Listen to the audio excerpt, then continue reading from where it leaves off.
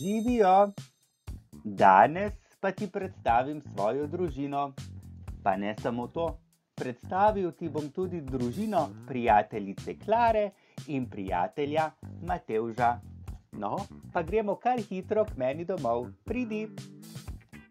To je naša hiša, tu živim jaz z mojo družino, pridi.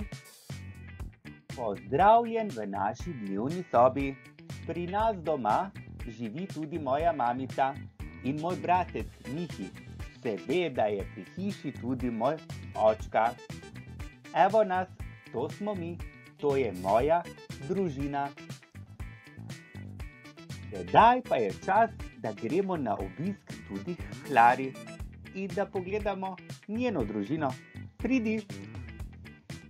Pa smo pokukali v Klarino dnevno sobo. Klara namreč živi samo z mamico, očka ne živi s Klaro. In temu rečemo enostarševska družina. Tudi Matevž nas je povabil na obisk k njegovi družini. No, pa pojdimo. No, pa poglejmo, koga vse lahko srečamo pri Matevžu doma.